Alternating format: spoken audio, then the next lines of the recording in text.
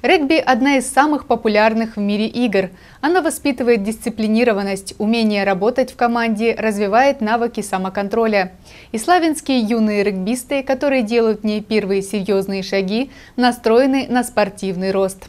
На стадионе в хуторе Бараниковском, где проведен капитальный ремонт пристадионного помещения, созданы прекрасные условия не только для тренировок, но и для соревнований. И директор спортшколы имени Владимира Викторовича Симоненко Игорь Тимошенко очень доволен тем, как здесь все преобразилось. Сегодня э, здание отремонтировано полностью, капитальный ремонт.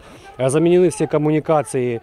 Э, стадион отвечает современным требованиям. Есть судейские комнаты, раздевалки, душевые кабинки. Оборудуем в этом стадионе два малых зала. У нас будет тренажерный зал для занятий и, и малый игровой зал, где мы планируем разместить настольный теннис, где мы планируем проводить занятия по боксу. В общем, очень довольны. Благодаря программе, которая действует в крае развития физической физической культуры. И при поддержке Романа Ивановича Снеговского шикарный стадион получился. Всем участникам престижных краевых соревнований по регби было приятно видеть, что произошли такие качественные изменения инфраструктуры спортивного объекта. Регбисты играют на этом стадионе не впервые и были рады находиться в новых красивых и чистых раздевалках. Юные спортсмены из Сочи, Крымского, Динского района и хозяева площадки из Славянского района сыграли первые матчи соревнований. На торжественном открытии состязаний их приветствовал заслуженный мастер спорта России, президент Федерации регби Краснодарского края, главный судья соревнований Владимир Остроушко. Он пожелал ребятам спортивных успехов, и они обязательно будут. Краснодарский край всегда являлся э, основой для поставки игроков в сборную России как по олимпийской дисциплине, так и по классическому регби.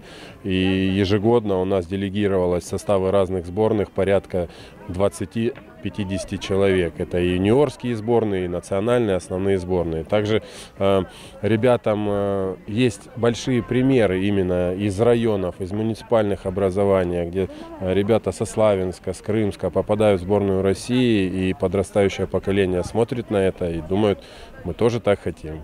В этом возрасте они начинают э, понимать приходить и правила более точно уже, и всю методику, и методологию всего регби. Поэтому да, это очень важно, этот возраст очень важен. Только э, с маленького регби вышли, и первые для них серьезные мероприятия, соревнования. Славянские спортсмены сыграли свою первую игру в формате 15 игроков с командой из Динского района. Они сражались с энтузиазмом, пытаясь выровнять счет, но это им не удалось. Соперники были намного сильнее, и матч завершился со счетом 73-5 в пользу гостей. Славянские регбисты не потеряли боевой дух после первой игры и надеются еще наверстать упущенные очки в будущих матчах в регби ну, нужно иметь очень много способностей. Думать, э, бегать, должна быть сила. То есть на поле это очень важно, чтобы пройти соперника. Для регбиста, вот, э, получается, ум, скорость и сила важна. Без них регбист не регбист уже будет. У нас это была первая игра в формате 15. У нас было, наверное, недостаточно опыта, чтобы победить довольно сильного соперника.